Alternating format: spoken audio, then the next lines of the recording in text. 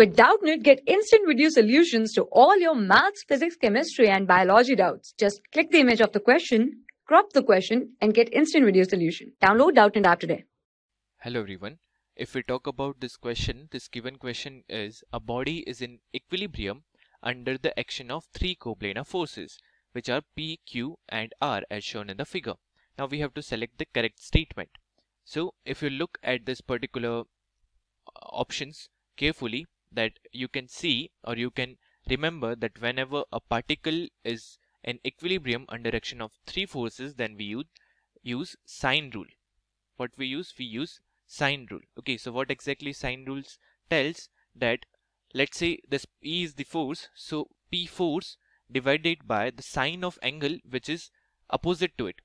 Okay now angle which is opposite to P is alpha so P divided by sine alpha that must be equals to another force which is q divided by the sine of angle opposite to it which is beta.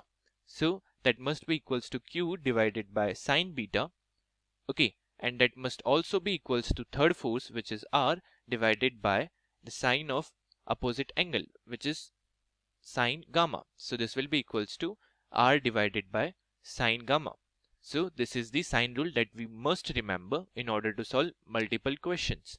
So the correct statement from all these uh, options is P by sine alpha equals to Q by sine beta equals to R by sine gamma which is written in option 1. So option 1 is correct and rest all options are incorrect. I hope you understood. Thank you. For class 6 to 12, IIT JEE and NEET level. Trusted by more than 5 crore students. Download Doubtnut app today.